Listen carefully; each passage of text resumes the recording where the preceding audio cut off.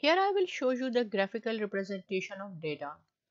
Suppose this is our data and these are the divisions Pacific, Atlantic, Central and North and these are the sales from May to August. This is the May sale, June, July and August. And you want to show your audience this data in the form of graph. So first you have to select your data and then go to the insert tab. In the insert tab you will see the charts group in charts group, you have pie chart, line chart, bar chart, and different kind of charts are here. If you are not sure which chart you are looking for, so just click the recommended chart here. And all charts. So you will see the line chart, pie chart, bar, area, and so on. Suppose in this case, we are looking for the clustered column. So this is the clustered column and then OK. So you can move your chart here.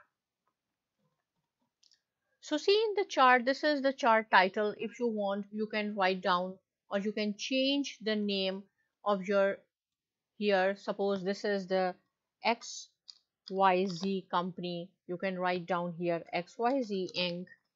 Right. This is called the legend.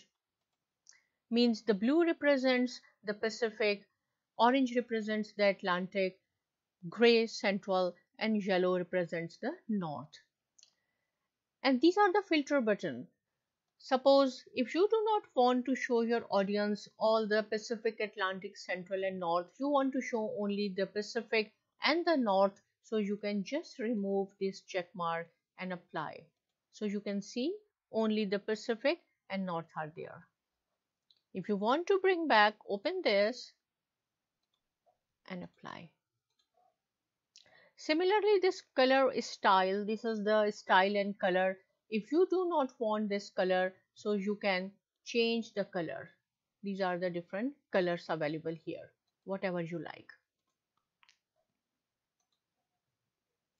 And then this is the plus sign. Open this and here you will see the legend is check mark. It means our legend is here. If you do not want your legend here just remove this check mark and see it's gone.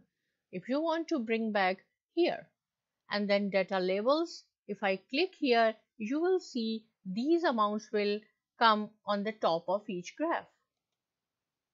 If you want data table here then you will see the amounts are here if you ch will change these amounts in future, suppose in July you want to make it 500, so you will see the change here on your graph as well. See the blue one. And then this is the format and the design tab here. Whatever design you want, open this and see if you want to show your graph like this, this, this, whatever you like. And here again you can change the color as well from here as well.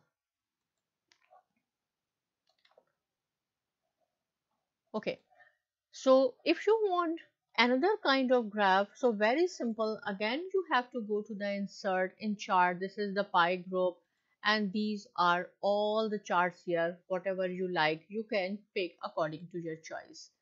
So in this video, you have learned the graphical representation of data and I hope you have enjoyed the video and thanks for watching it.